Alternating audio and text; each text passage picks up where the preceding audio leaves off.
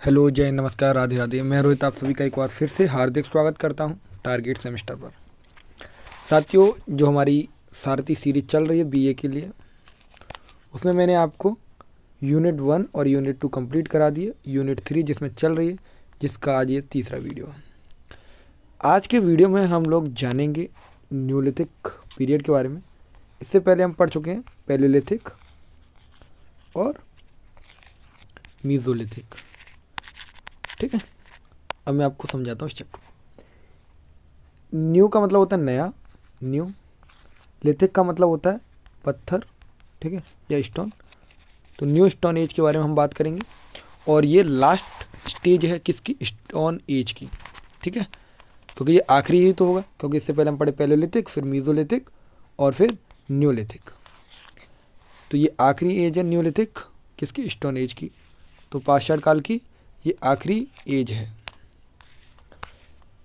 Neolithic period is significant for a megalithic architectures तो megalithic मतलब होता है कि जो माइक्रो से बड़े होंगे मेगा मतलब मेगालिथिक आर्किटेक्चर के लिए फ़ेमस है ये। ये एज इसने एग्रीकल्चर प्रैक्टिस को बढ़ावा दिया, यानी कि जो कृषि थी उसको बढ़ावा दिया। हिंदी वाले परेशान ना हो पीडीएफ में दोनों तरीके से। And use the polish stone tools यानी कि जो स्टोन के टूल्स अभी तक यूज़ कर रहे थे तो पेलोलिथिक में हमने देखा कि कोई सेप नहीं था, लेकिन जब म्यूजोलिथिक में आए तो थोड़ा सा सेप बनाया उन लोगों ने, चीज़ों को अच्छे तरीके से प्रॉपर ढंग से बनाना चालू किया। लेकिन जब न्यूलिथिक कल्चर आया, यानी कि नव पाषाण काल आया, तब तक उन लोगों ने से पॉलिश्ड टूल्स के यूज़ करने लगे तो एक चीज़ ये समझ आ गई आपको। अगला पॉइंट देखिए, अगला पॉइंट क्या कह रहा है? Neolithic was a very important stage यानी न्यूलिथिक जो है बहुत ही महत्वपूर्ण स्टेज है। क्यों स्टेज है? क्योंकि यहाँ पर ह्यूमन कल्चर जो है, वो history of human culture when the humans is no longer dependent इसमें देखा हमने कि जो लोग हैं, वो नॉन मतलब नो लॉन्गर डिपेंडेंट मतलब ज़्यादा लंबे तक, समय तक डिपेंडेंट नहीं रहेंगे। Entirely the on nature but I had what had started to explore nature to their own advantage उन्होंने क्या किया कि जो नेचर है, यानी कि प्रकृति है, उसको अपने एडवांटेज के लिए यूज़ करना चालू किया। जैसे कि लकड़ी, फल, फूल, ये सारी चीज़ें। इस तरीके से उन्होंने चालू किया। अब हम बात करेंगे न्यूलिथिक कल्चर, फिर एक एक करके सब टॉपिक्स को देखेंगे। न्यूलिथिक कल्चर यानी कि नव पाषाण का जो कल्चर था उसको देखेंगे। तो एग्रीकल्चर कैसा हुआ करता था? The idea of Neolithic revolution referred the origin of agriculture animal domestication settlement way of life यानी कि न्यूलिथिक कल्चर आया नवपाषाण काल आया तो इसमें एक रिवॉल्यूशन देखने को मिलता है। एक हमको रिवॉल्यूशन क्या देखने को मिलता है कि यहाँ पर जो एग्रीकल्चर एरियाज़ हैं, वहाँ पर खेती बाड़ी करने लगे लोग, पशुओं को पालने लगे, यानी कि एनिमल डोमेस्टिकेशन होने लगा। साथ में एक वेल्ड सेटल्ड लाइफ जीने लगे। ठीक है? ये चीज़ समझ आ गई हो? बहुत सही। अगला पॉइंट देखिए। Indicate the transformation of society इन्होंने, हम देखेंगे कि इसमें न्यूलिथिक कल्चर में हमको सोसाइटी चेंज होती हुई नज़र आएगी। सोसाइटी चेंज होने का मतलब क्या होता है साथियों? जैसे सोसाइटी चेंज कैसे हो रही है? जैसे कि जो लोग हैं, उनके रहने का तरीका चेंज हुआ। पहनने का तरीका चेंज हुआ, खाने का तरीका चेंज हुआ, चीज़ों को देखने का तरीका चेंज हुआ, नज़रिया चेंज हुआ तो इसको क्या कहते हैं? Transformation of society from food gathering इन्होंने गैदरिंग करना चालू किया ह्यूमन हंटिंग करने लगे, जैसे कि जो भी शिकार किया करते थे, पशु पक्षियों को मारा करते थे, उसको गैदर करने लगे कि भाई कल खाएँगे तो और इसके बाद जब गैदर करेंगे economy to the food producing यानी कि जिन चीज़ों से कम मतलब जैसे फ़सल वगैरह उगाने लगे, यानी कि फ़ूड प्रोड्यूस प्रोड्यूसिंग मतलब कि जो चीज़ें खाने, खाद्य योग्य हुआ करती थी, उनको जब उगाने लगे तो फिर क्या हुआ कि इससे इकोनॉमी भी बढ़ने लगी। तो दो चीज़ें आपको समझ आई। न्यूलिथिक कल्चर में हम हम देखेंगे कि कौन कौन सी फ़सलें हुआ करती थी। तो न्यूलिथिक कल्चर में हमको देखने को मिलेगा कि ragi horse gram cotton cotton की खेती होने लगी, चावल, गेहूँ, बाजरा, ये सारी चीज़ हमको देख रहे हैं कि ये सारी चीज़ों का मतलब उत्पादन होने लगा। उत्पादन मतलब कि उगने लगी ये चीज़ें। डोमेस्टिकेशन में अगर हम देखेंगे तो डोमेस्टिकेशन हो रहा है कैटल का सीप्स का, बकरी का, इन चीज़ों का हो रहा है। तो अब आपने देखा कि जैसे हमने न्यूलिथिक कल्चर की बात की साथी तो न्यूलिथिक कल्चर में हमने पहला टॉपिक देख लिया एग्रीकल्चर एग्रीकल्चर के बारे में आपको सारी चीज़ें पता चली। अब हम देखेंगे टूल्स को।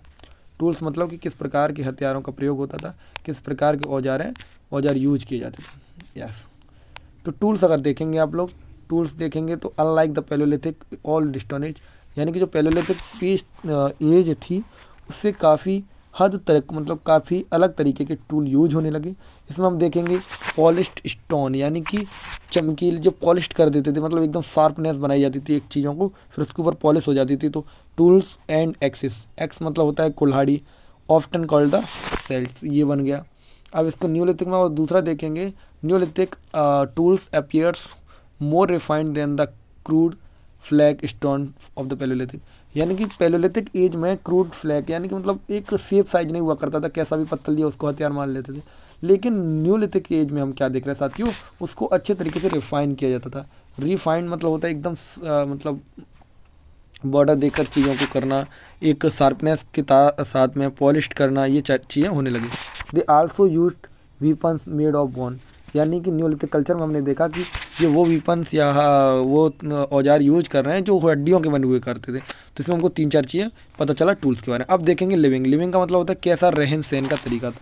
तो लिविंग जीवन देखेंगे कि भाई कैसे रहते थे ये लोग। ठीक है? आइए। यस तो हमने देखा, the introducing of domestic domestication of plant and animals lead to producing of large quantity of grains and animal food. तो हमने देखा कि इनके चैन रहने का तरीका कैसा था कि ये डोमेस्टिकेशन करने लगे किसका? पशुओं का करने लगे एग्रीकल्चर उगाने लगे। इसमें इनका लार्ज अमाउंट में ये ग्रेन्स उगाने लगे एनिमल्स फ़ूड उगाने लगे।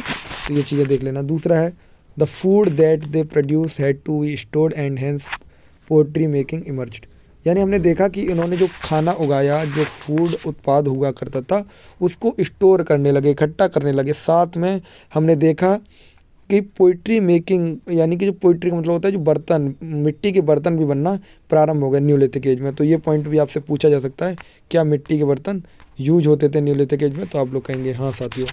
तो they had settled open areas away from caves and thus house build यानी कि इन लोगों ने क्या किया? न्यूलिथिक एज में नव पाषाण काल में क्या हुआ साथियों? जो केव्स में रहा करते थे गुफा में रहा करते तो वहाँ से निकल कर उन्होंने बाहर अपने रहने के लिए निवास स्थान बनाने लगे। अपने लिए छोटे छोटे मिट्टियों के घर या मतलब फूस, जो घास फूस होता है, उसको लगाकर घर बनाने लगे। तो ये चीज़ बताएँगे। Large village developed and permanent residence. यानी धीरे धीरे एक करके, दो करके एक छोटा सा गाँव बनने लगा, फिर एक बढ़िया सा रेजिडेंस बनने लगे परमानेंट रेजिडेंस बनने लगे। अब हाउसिंग की बात करें, साथियों कि घर कैसे बना करते थे? तो न्यूलिथिक कल्चर में घरों की बात करें the peoples of a Neolithic age lived in a rectangular और circular houses which are made of mud and reed हमने देखा, साथियों, जब हम आर्कोलॉजिकल एविडेंस पर जाते हैं। जब हम रिसर्च करते हैं तो हमने देखा कि कुछ घर ऐसे गोलाई में बने हुए दिखाई देते हैं, कुछ रेक्टेंगुलर शेप यानी आयताकार में दिखाई देते हैं। तो इस प्रकार हमको पता चलता है, और जो घर बने होते हैं, वो मिट्टी के होते हैं, क्योंकि जो हमें एविडेंस मिल रहे हैं, वो मड वगैरह के मिल रहे हैं। अगला पॉइंट देखिए हाउस के बारे में। The peoples of a Mehrgarh यानी कि आपसे पूछा जाता है मेहरगढ़ में जो मिली है lived in mud bricks house यानी कि वो मिट्टी की बनी आ, मिट्टी की बनी ईंटों के घर में रहा करते थे। पिट ड्वेलिंग होती थी रिपोर्ट फॉर द वज्रोम हमको बुर्ज होम से हमको पता चलता है कि पिट ड्वेलिंग हुआ करती थी। Neolithic site found in Kashmir Kashmir में जो न्यूलिथिक साइट पाई जाती है वहाँ से हमको ये दोनों तीन चीज़ें पता चलती तो साथ ही आपसे पूछा जा सकता है कि कौन कौन सी साइड न्यूलिथिक एज में पाई जाती है। अब पोइट्रीज़ की बात करें फिर आर्ट की टेक्चर की बात करेंगे। पोइट्रीज मतलब मिट्टी के बर्तन तो आप लोग देख लेंगे कि पहली बार हमने पोइट्रीज को देखा है फ़र्स्ट पीरियड इन न्यूलिथिक या नव पाषाण काल में हमने पहली बार पोइट्रीज को देखा। पोइट्रीज का यूज़ क्या करेंगे साथियों? अनाज वगैरह इकट्ठा करने के लिए पोइट्रीज का यूज़ होता होगा, उनमें अनाज रखा करते होंगे। खाना बनाने के लिए पोइट्रीज का यूज़ हुआ करता होगा। ये सब देखो, हमारी केवल कल्पनाएँ हो सकती है। हम केवल सोच सकते हैं ये चीज़ों के बारे में, क्योंकि arrange for drinking water and eat finished product ये सारी चीज़ें पोइट्रीज के लिए हो गया।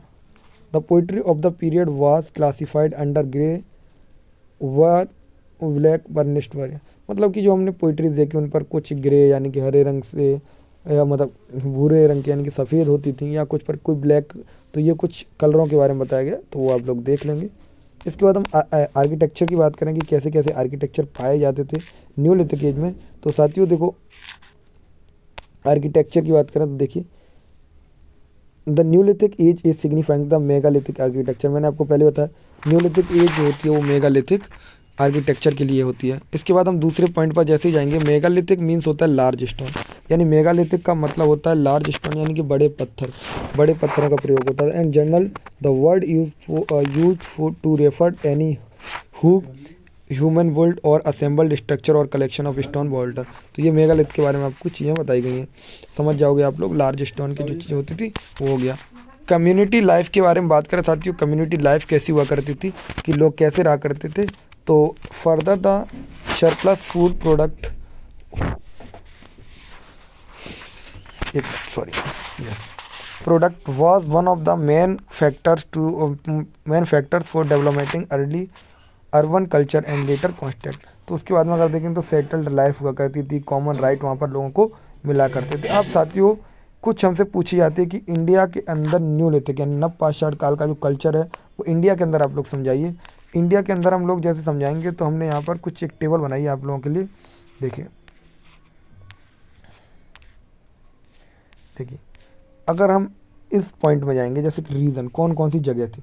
इंपॉर्टेंट प्लेस के बारे में बताएँगे और वहाँ से मिले हुए क्या कैरेक्टरिस्टिक हैं, यानी क्या क्या चीज़ें पाई गई हैं। तो जैसे देखिए रीजन में हम लोग आएँगे तो north west north western region देखेंगे, पाकिस्तान और अफ़गानिस्तान का। नॉर्थ वेस्टर्न रीजन जैसे मान लो आपको मैं मैप ड्रॉ करूँ इंडिया का तो आप लोग देखेंगे, ये हो गया नॉर्थ ईस्टर्न तो यहाँ पर आपको पता है अफ़गानिस्तान और यहाँ पाकिस्तान है।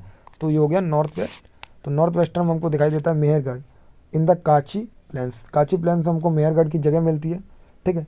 किली गुल मोहम्मद इनक्विता वाली राना ये सारी चीज़ें वहाँ की जगहों के नाम है। फिर यहाँ पर हम देखेंगे it is one of the earliest region world which has given combined evidence plant and animal domestication तो हमको पहले प्लांट एंड एनिमल डोमेस्टिकेशन के जो एविडेंस मिलते हैं, वो बुरजोहम से मिलते हैं, जो कि नॉर्थ वेस्टर्न रीजन है, पाकिस्तान एंड अफ़गानिस्तान का तो ये आप लोग बता देंगे।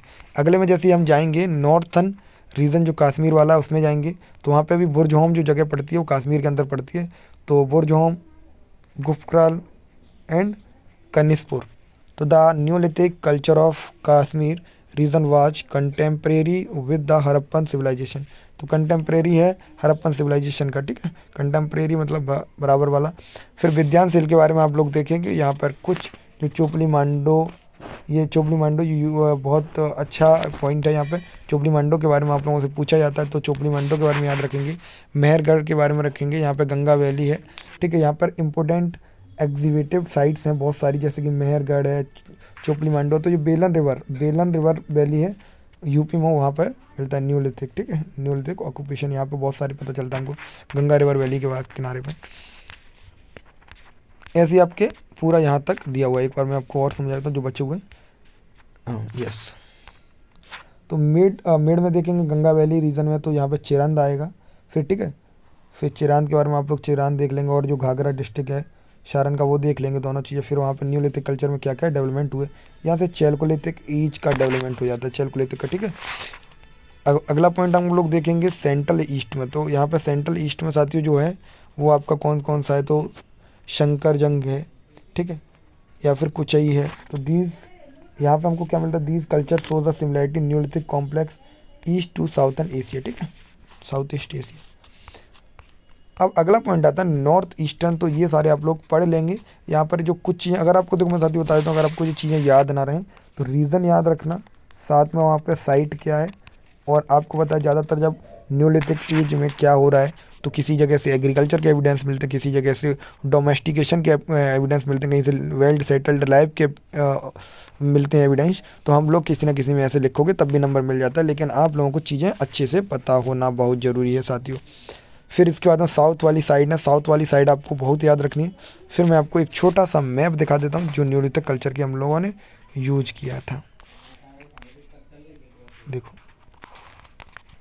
जैसे देखो बुर्ज होम ये दिख रहा है यहाँ पे, चीरंद है, ठीक है?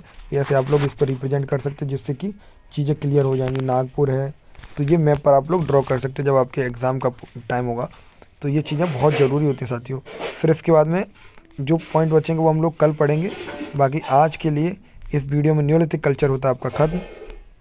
सोशल ऑर्गेनाइजेशन के बारे में अगर आपको पढ़ना है तो सोशल ऑर्गेनाइज सोशल ऑर्गेनाइजेशन के बारे में हम लोग साथियों यहाँ पर बताया है। The evidence for understanding the social organisation Neolithic peoples is very limited तो ये चीज़ हमने यहाँ समझा दिया आपको। ट्रैप्स लेवल सोशल ऑर्गेनाइजेशन ये चीज़ आप लोग देख लेंगे। तो हमने पढ़ लिया पेलोलिथिक न्यूलिथिक मीजोलिथिक अब बचा है चालकुलिथिक तो अब हम स्टार्ट करेंगे कल वाली वीडियो में चालकुलिथिक एज धन्यवाद वीडियो को एंड तक देखने के लिए। अगर वीडियो अच्छा लगे तो वीडियो को लाइक शेयर सब्सक्राइब करेंगे। बाकी अधिक जानकारी के लिए आप लोग हमारे सोशल मीडिया हैंडल से जुड़ेंगे। धन्यवाद साथियों।